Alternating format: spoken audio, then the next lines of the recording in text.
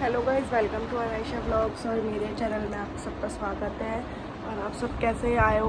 आप सब अच्छे होंगे और मैं भी ठीक हूँ और अभी शाम के बज रहे हैं साढ़े सात और आज मैंने ब्लॉग इसलिए ज़्यादा लेट हो गया क्योंकि जो मेरी, जो नंद का लड़का है छोटा वाला तो थोड़ी उसकी चोट लग गई थी यहाँ पे, नाक पे। तो इसलिए सब परेशान हो गए थे। तो फिर उसके बाद पापा पापा ऑफ़िस से आ गए थे तो खाना वाना करना पड़ा और खाने में मैं आज लेट हो गई थी बनाने में, जिसमें मेरे हस्बैंड ने मेरी हेल्प करी थोड़ी बहुत उन्होंने। तो फिर इसलिए खा हुआ के थोड़ा मैं लेट गई थी क्योंकि मैं थक गई थी बहुत ज़्यादा। फिर उसके बाद जब मैं उठी तो वो पूजा वूजा करने लगे थे। उसके बाद चाय वाय बनाई और फिर मैंने जैसे आपको बताया था कि हमारा मतलब जो हमारा पॉट का काम है, वो हमारा हो रहा है। उसमें हमारी इंग्लिश शीट लग रही है।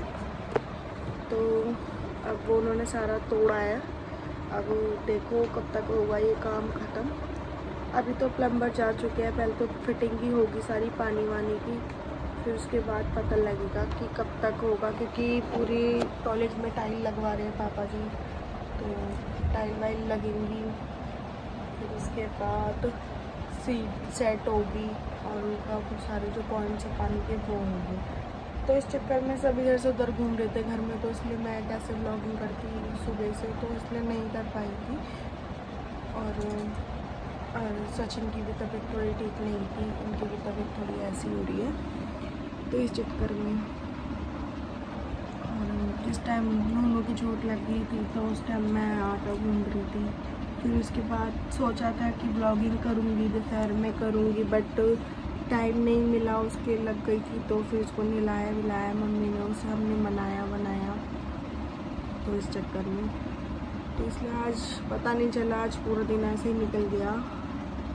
और कभी कभार होता है कि जल्दी काम हो जाता तो दिन नहीं बीतता, आज ऐसे निकल गया सारा दिन। और मम्मी पापा गए हैं मार्केट, अब देखो मम्मी सब्ज़ियाँ लेने गई हैं, क्योंकि इस टाइम में, नवरात्रों के टाइम में आपको पता है, कुछ समझ में नहीं आता कि क्या बनाना है, क्या ना बनाए। तो इसलिए, और हमारा सारा घर अभी, हम घर तो नहीं, घर तो कमरे तो साफ़ ही है बस किचन की साइड पे वो मिट्टी मिट्टी हो रही है तो वहाँ भी सब फैला पड़ा है। और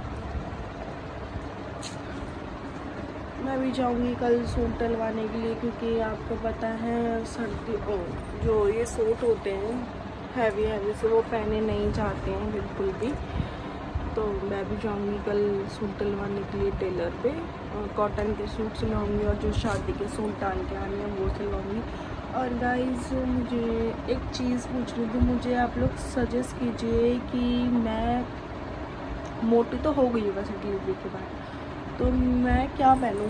मोस्टली तो लहंगा तो सब लोग पहनते ही पहनते हैं। तो मुझे आप ये सजेस्ट कीजिए कि मतलब साड़ी तो मेरे पास बहुत सारी रखी हुई है। लहंगा भी मैंने बहुत बार पहन लिया। हमारे घर में दो दो शादियाँ हैं। तो क्या मेरे पे गाउन अच्छा लगेगा? नहीं लगेगा। तो आप लोग ये भी सजेस्ट कीजिए मुझे। और ही सजेस्ट कीजिए और फिर देखते हैं कि हमारा क्या पूरा फाइनल होता है। हम आगे ज़्यादा बच्चों ने तो लहंगे ले भी लिए हैं, बहुत सुंदर सुंदर लहंगे हैं डार्क ग्रीन कलर मोस्टली अब कलर ऐसे ही चल रहे हैं तो पैरट ग्रीन में, या तो डार्क ग्रीन में, या तो मोर पंख लहंगे जो होते हैं तो वो। तो इसलिए अब सोच रहे हैं कि क्या लें, क्या ना लें। और सबसे बड़ी बात तो पहले बाबू का मुंडन ही है, ग्यारह तारीख का। तो घर में कुछ ना कुछ प्रोग्राम आए जा रहे हैं, आए जा रहे हैं। तो हर किसी चीज़ के लिए कपड़े देखने ज़रूरी है। तो इसलिए, और हम आपको पता है, हमने गद्दे में निकाले थे, और हमारे गद्दे भी अभी ऐसे ही रखे हुए हैं। हम सोच रहे हैं कहाँ दें गद्दों को। तो अभी ऐसे ही रख रखे अभी गद्दे वद्दे भी, एक गद्दा मैंने नीचे बिछा रखा है कि बच्चे बच्चे आते हैं, खेल कूद लेते हैं। इसलिए, और आप लोग ज़रूर बताइएगा कि आपने तो देख ही रखा है कि मैं कितनी मोटी हूँ और कैसी हूँ तो इस चक्कर में आप लोग बताइएगा क्या मेरे पे गाउन शूट करेगा या नहीं करेगा। अगर शूट करेगा तो कौन सा कलर का लेना चाहिए, मुझे ये ज़रूर सजेस्ट कीजिएगा। ठीक है गाइस और आप लोग बताइए, आप अपने घर में क्या क्या बना रहे हैं नवरात्रों के टाइम पर मैंने तो फास्ट नहीं रखा इस बार, क्योंकि इस बार तबीयत ठीक नहीं थी तो उस चक्कर में फास्ट नहीं रखा मैंने। और मेरी सास जो है, मम्मी को तो शुगर रहता है। मम्मी को तो शुगर रहता है, इस चक्कर में उन्होंने, उनको लिए तो वो है मना ही, रखना क्योंकि वो दवाई ववाई खाती है। मैंने वीडियो बीच में एंड कर दी थी, क्योंकि बाबू आ गई थी मेरी। वो अपनी बुआ के साथ बाहर घूमती रहती है। अभी घर में बिल्कुल भी नहीं टिकती। और आप देख सकते हैं, इसकी जुल्फे इतनी लंबी लंबी हो रही है, पूरी इसकी आँखों में आती है। कटवाते तो हम बाद में ही बट क्या करें, उसके ना आँखें कमज़ोर हो जाएँगी और उसका भी काग इतना मज़बूत नहीं है कि इसकी चुटियाँ बनाए टाइट टाइट कुछ भी। या थोड़ी बहुत ढीली ढाली तो हम बना के रखते हैं। हमारी गली में भी बहुत सी आंटियाँ हैं, वो कहती हैं कि नहीं, इतने छोटे बच्चों की चुटनियाँ नहीं बांधनी चाहिए क्योंकि इनसे इनके काग कमज़ोर हो जाते हैं, काग गिर जाते हैं, जिससे बच्चा तोतला बोलना शुरू कर देता है और कुछ भी। और अनायशा मेरा बच्चा देखो क्या कर रहा है, इसे क्या पता नहीं कैमरे के सामने आते ही? तो पता नहीं, इसका रोना कुछ उठता है। समझ नहीं आता। ये इतना गंदा पेपर क्यों हो गया है मेरा। तो तो गाइस मैं मिलती हूँ आपको थोड़ी देर के बाद, ठीक है? मैं इसको देख लूँ इसको चुप बुक करा दूँ इसको दूध दूध पिला दूँ। फिर उसके बाद मैं मिलती हूँ आपको थोड़ी देर में। नहीं तो ये मेरा सारा सोलह सिंगार ख़राब कर देगी अभी। और इसे चुन्नी मुन्नी सब हटा दी मेरे सर पे से। ये मुझे टिकने नहीं देगी, बिल्कुल भी। तो मिलती हूँ मैं आपको थोड़ी देर के बाद। Bye bye bye bye bye bye guys हम जा रहे हैं पानी पूरी खाने। बाबू भी खाएगी पानी पूरी पिछली बार तो अलग में पापड़ी अटका ली थी। नहीं नहीं, खाएगा, चच्ची, में खाएगा। हम जा रहे हैं पानी पूरी मैं, मोनी दीदी छोटी दीदी और छोटा सा नन्नू। नन्नू, हाय बोलो। कैसे हो? तो देखा, आज इसकी चोट लग गई थी, इसलिए आज इसको खुश करने के लिए पानी पूरी खिलाने लेके जा रहे क्योंकि इसे गोलगप्पे बहुत पसंद है और मोमोज। ठीक है? चले? चलो, जल्दी स्लीपर पहनो अपनी। जल्दी जल्दी स्लीपर पहनो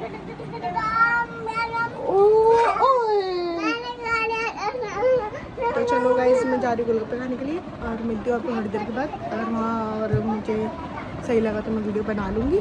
ओके? मैं तो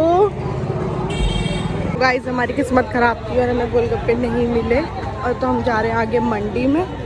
तो देखते हैं वहाँ चल के। जब हम आ चुके हैं मार्केट से घर पर और हमें गोलगप्पे नहीं मिले अच्छे से तो हमने गोलगप्पे ट्राई किए थे, बट हमें अच्छे नहीं लगे। तो हमने फिर हमने सोचा चलो ट्राई करते हैं कुल्लड़ पिज़्ज़ा क्योंकि बहुत लोग खा रहे हैं ये। हम भी खा के देखते हैं फ़र्स्ट टाइम ट्राई कर रहे हैं। तो खुशबू तो बहुत अच्छी आ रही है बट अब ट्राई करते कैसा लगता है। तो हेलो गाइस और रात के बज रहे हैं बारह, और मैं ब्लॉग का करने जा रही हूँ एंड एंड मैंने आपको बताया था मैंने आज कुल्लट पिज़्ज़ा खाया।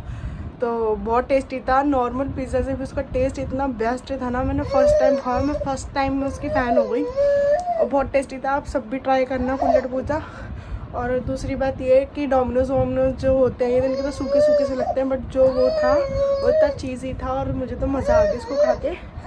और अब जा रहे हैं हम सोने के लिए। और ये सोने के लिए बाबू हमारी परेशान हो रही है तो मैं इसको सुलाऊँगी। और हम थोड़ी सी खा रहे हैं आइसक्रीम, क्योंकि गर्मियाँ आ चुकी हैं। तो लेट्स ट्राई आइसक्रीम खाते हैं और bye bye have a nice sorry good night sweet dream तो गाइस आप भी खा लो आइसक्रीम और ये मेरे जेठ लाए हैं आइसक्रीम। तो अब खाएँगे लेट्स ट्राई और गर्मियों का सीज़न आ चुका है, जैसे आपको पता आज मेरे से इतना गंदा इंसिडेंट हुआ है क्या हुआ है कि मेरे मेरे हस्बैंड ने कहीं काम किया था तो वही उसी की चीज़ मेरे दिमाग में घूम रही थी बार बार बार बार। तो क्या हुआ, घर पे कोई नहीं था, ये बाहर गए थे और बाबू इधर बैठी हुई थी कॉर्नर पे तो मुझे लग रहा था कि बाबू गिर ना जाए और मैं बाहर छज्जे पे थी। तो मैं इनका, मेरे हस्बैंड का कोई दोस्त आ रखा था राहुल नाम का तो वो और मेरे जेठ जो है बड़े, वो बैठे हुए थे। हुक्का पी रहे थे तो क्या हुआ एकदम से मुझे मुझे वॉशरूम जाना था ऊपर, क्योंकि आपको पता है हमारा टॉयलेट का काम चल रहा है, अभी वो पूरा कंप्लीट नहीं हुआ है। तो मुझे टॉयलेट जाना था ऊपर, मैं वॉशरूम जाना था तो मैंने एकदम से क्या हुआ, मेरे को कुछ समझ नहीं आया, पता नहीं मेरी जवान लड़खड़ाई क्या हुआ, मैंने छूटते अपने जेठ को ही बोल दिया, नीरज सुनो जरा बाबू को देखना। और मैं इतनी शर्मिंदा हो गई इस टाइम पे, मैं कह रही, यार सॉरी सॉरी और फिर जब मैंने जाके राहुल को बोला कि, राहुल, बाबू को देखना। और पता नहीं मेरे मुँह से एकदम से निकला ना कि फिर वो लोग सब हंसने लग गए। इनने क्या बोला? ऊपर मैंने संगीता मम्मी को बताया, संगीता मम्मी भी हंसने लग गई मेरे ऊपर। कभी कभार ऐसा होता है, एक बार अभी मैं गई थी मार्केट में तो मार्केट में एक टेडी बियर था, हाथी था, है ना? तो तो मैंने बोला तो मोइन दीदी ने बोला कि इसका प्राइस पूछना ज़रा कितने का है? तो मैंने बोला, भैया, इसका प्राइस कितने का है? तो वो कह रहा, किसका? मैंने बोला, ये जो हाथी जैसा दिख रहा है। तो सब छूटते ही बोले, एकदम से वो हाथी जैसे नहीं दिख रहा, वो हाथी ही है। तो मैं कह रही, यार, पता नहीं तो एकदम से मोहन दीदी ने ही बोला कि, बाबू, तेरी मम्मी कौन सी फैक्ट्री में पढ़ के आ रही है? तेरे को तो इंग्लिश सिखा रही है उनको तो खुद को नहीं आ रही। तो कभी कभार क्या होता है जवान लड़खड़ा जाती है, बहुत ही ज़्यादा हो जाती है और मेरी तो सुबह से ही हो रही है। तो चलो, आज के लिए इतना बहुत है और गुड नाइट स्वीट ड्रीम और सब अपना ख्याल रखना और मेरी वीडियो को लाइक शेयर कमेंट और सब्सक्राइब ज़रूर करना। थैंक यू सो मच और फिर मैं दोबारा बोल रही हूँ sorry so sweet dream bye good night